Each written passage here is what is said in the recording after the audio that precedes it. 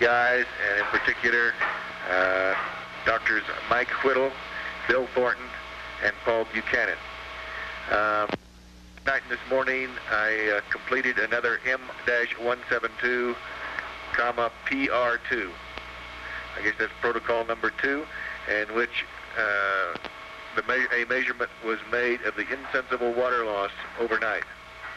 Uh, my BMMD just prior to going to sleep was as follows 5.987, 84, 87, 88, 87. I've obviously just repeated the last two digits for the four uh, uh, ladder weights. Uh, this morning, immediately after getting up, my weights were 5.9er, 7.9er, 7.7, 7.5, 7.4, 7.5.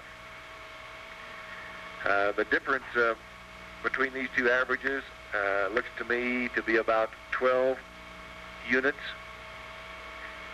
uh, considering I had a four-place uh, number, and 12 units I believe to be about two-thirds of a pound.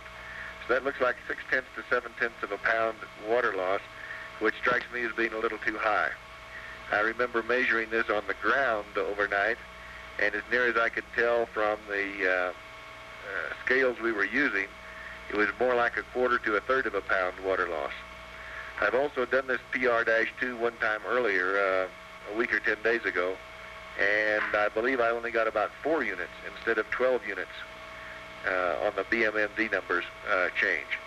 So you might let me know what you think of these. Uh, the measurements both last night and this morning were uh, uh, reasonably consistent, and uh, don't know why it was apparently as large as it was. If you have any explanation uh, or any comment on the uh, uh, insensible water uh, loss, apparently, apparent insensible water loss, uh, I'd appreciate hearing from you. Uh, end of message to the M172 PIs, and in particular, Doctors uh, Bill Thornton, Mike Whittle, and uh, Paul Buchanan.